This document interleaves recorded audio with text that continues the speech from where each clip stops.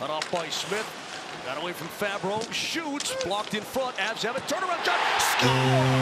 Joonas Donskoi gets it right back.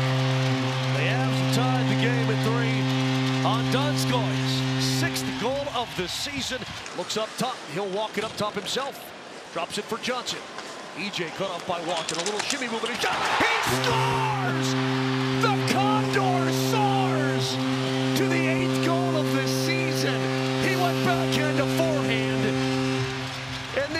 Has been, so blown open by this Avalanche team in period two.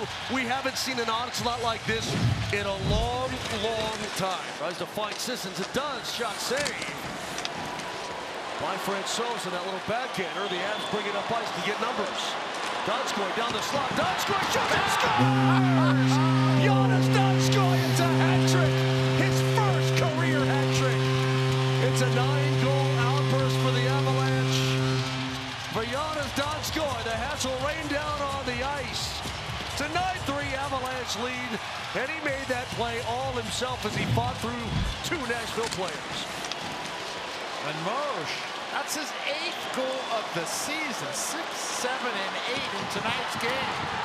And what an effort right there. I mean, that was just, he splits the D. Splits the defenseman. I mean, you you got to make a good move. Split, split the defenseman four.